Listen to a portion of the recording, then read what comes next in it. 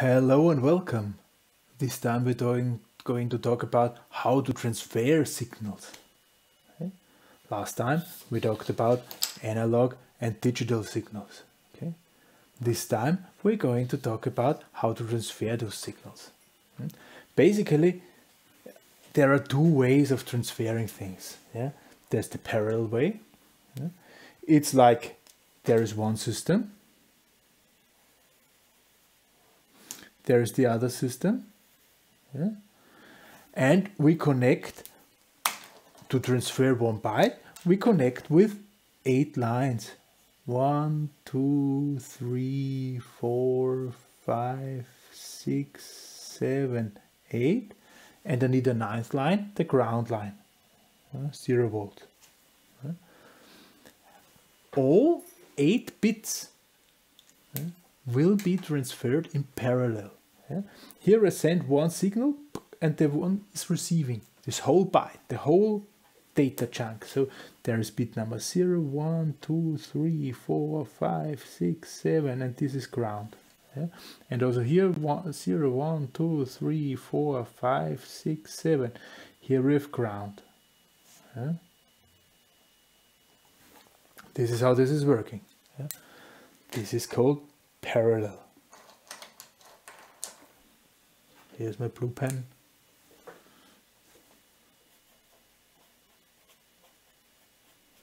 Because all bits are transferred in parallel. Yeah? And then there is the possibility that I do have here one system, I do have here the other system. I'm only using basically two wires. Yeah?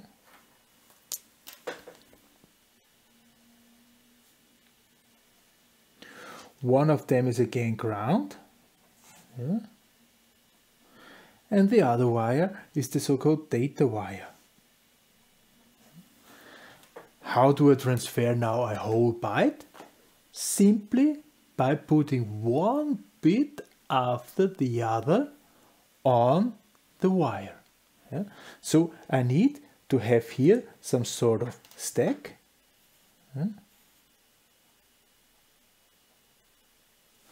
And here some sort of stack. And one bit after the other is going here, transferred and pushed in here. Okay, this is empty, this is filled, so there needs to be some sort of logic behind. Yeah. There needs to be some sort of logic behind to get this bit by bit on the wire and bit by bit off the wire. And if I have received the whole byte, I need to inform whoever, hey, I have a new byte for you. Okay. And also here I have to inform, okay, I transferred this byte, please give me the next one. So there needs to be some logic inside. This is called serial. Serial. Here we have something, an old, old cable. Eh? This is a parallel cable. You see, a lot of connectors here. Eh? Parallel cable. And inside here, there are a lot of wires which are transferring it to the other end, where again a lot of connectors. Good. Yeah. Parallel cable. Eh? Benefit of parallel things, I can transfer really a lot of data. When I transfer here a byte, I have here already 8 bytes. Okay. Serial thing, we said, yeah, where is the cable, this one. You remember the USB cable from some videos before, yeah? Only two wires. This is just for power supply here. Only two wires. These are the two wires. One is ground and one is data this one. Much less space, money, installing needed, zero. However, slower. Okay? But slower, faster, cheaper and so this is not the only one. The real issue here is that there are a lot of wires here parallel running yeah? And if one wire and the other wire is running in parallel I get some sort of coupling between those two okay? I get some sort of coupling inductive coupling capacitive coupling and so on. So there is some some transferring the information on one wire to the neighbor wires yeah? and the longer the cable gets the better those wires are coupled together in an electromagnetic way yeah? So the longer the cable is, yeah, the more the wire 3 is influencing all other wires. Yeah? And if the cable is then long enough, here I tell something and on the other side I cannot understand because on every wire I hear just nonsense because I do not get the information of exactly this wire, I do not get the information of all the other wires on all wires. Yeah? So I cannot understand anymore what is being talked. Yeah? I don't have this problem here. Only one wire. Who should shall disturb me? Yeah? So this here we can use over long distances. This here is only short distances.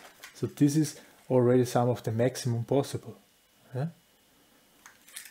These things here we usually use where it really gets to go fast yeah? and not that far. For instance, between our CPU and the memory in our computer. Parallel bus systems are there. Serial bus systems or serial things we use where we want to talk faster or where we want to talk about longer distances. For, either, for instance, Ethernet or USB or something like this. Yeah, Ethernet, we can talk about kilometers even. Hmm? Serial systems. So that's parallel and serial systems. I also said something about bus just mentioned bus system. What is bus system? Basically, if two things are talking,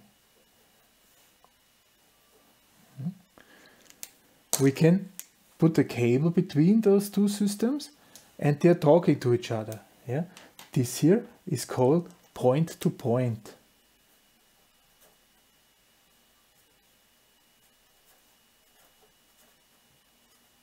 Point-to-point -point communication.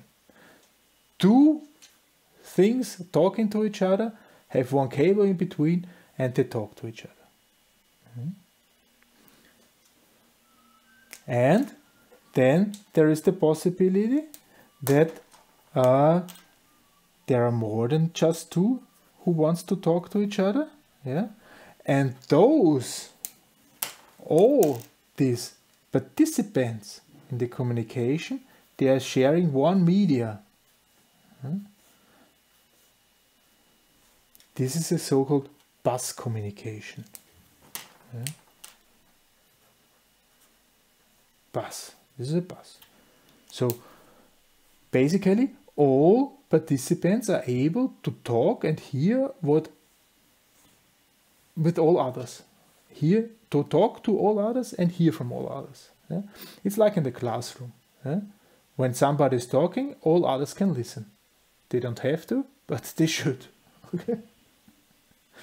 Yeah? If all are talking at the same time, nobody can understand anything. It's also the same thing here. So there must be some sort of logic which is somehow telling the participants now you're allowed to talk or you don't allowed to talk. Yeah, you have to listen. Now shut up and listen. Yeah, now talk. Yeah? There are several things, uh, there are several logics behind how this might be managed in when you're talking about measurement systems and so on.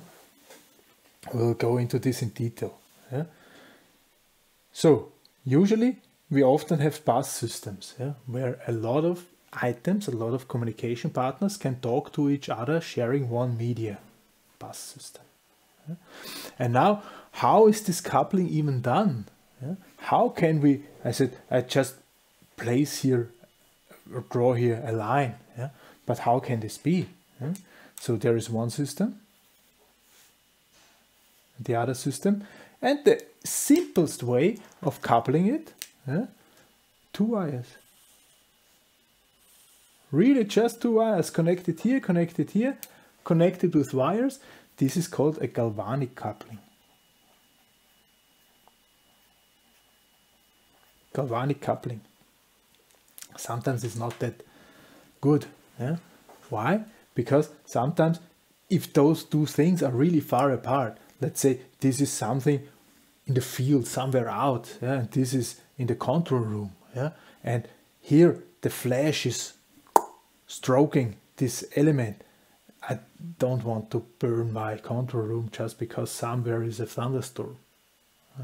So I need to to get rid of this galvanic coupling. I need to isolate this somehow. Yeah? We already talked about fiber optics. Yeah? That was one possible combination. Yeah? That I have a system, another system. Here I'm using wires. This one, I'm using this one, using wires. And here there is a light source. And here there is a resistor which somehow is able to distinguish and in between there's a light. Hmm? so there is no electric coupling. There's no electric coupling. It's transferred by light. Fiber optics for instance. Optical.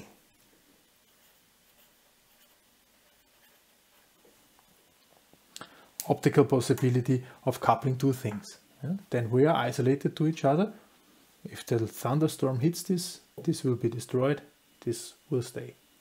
Okay.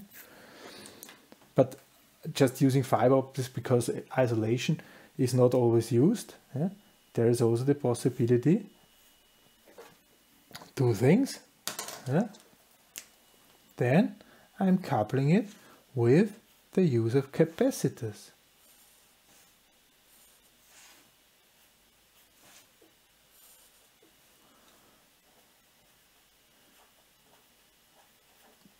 Capacitive coupling.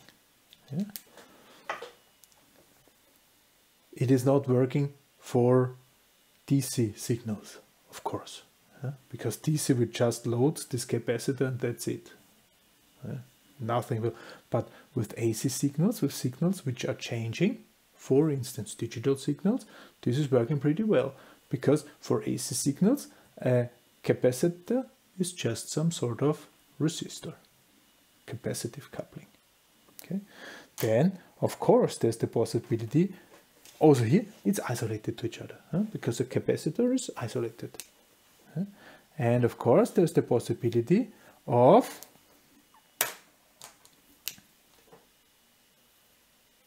producing a magnetic field and on the other hand I'm getting I'm receiving the magnetic field this is a magnetic coupling magnetic coupling.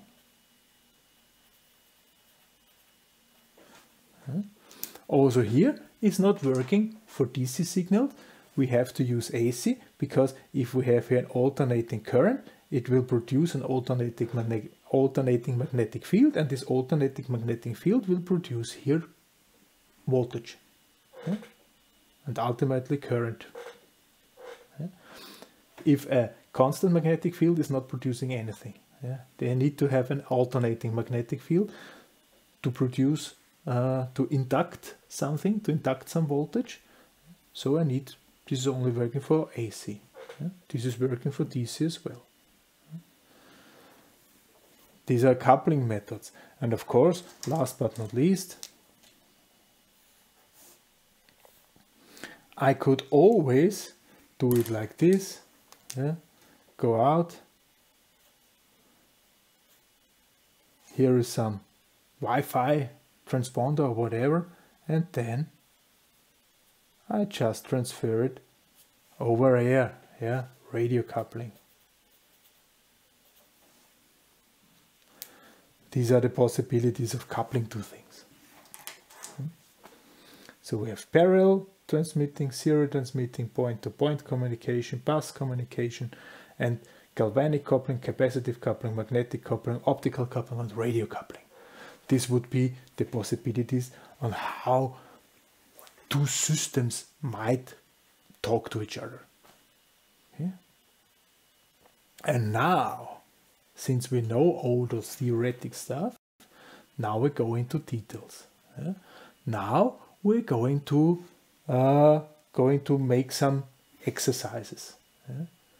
We usually do point-to-point -point communication. Yeah. Uh, however, some of the systems we will get to know are also bus communications. Yeah. The first thing we are going to talk about is a serial system. Yeah, we let two Arduinos talk to each other simply by the serial interface of them. Yeah. This will then be next video. For this time, thank you very much for listening. Goodbye.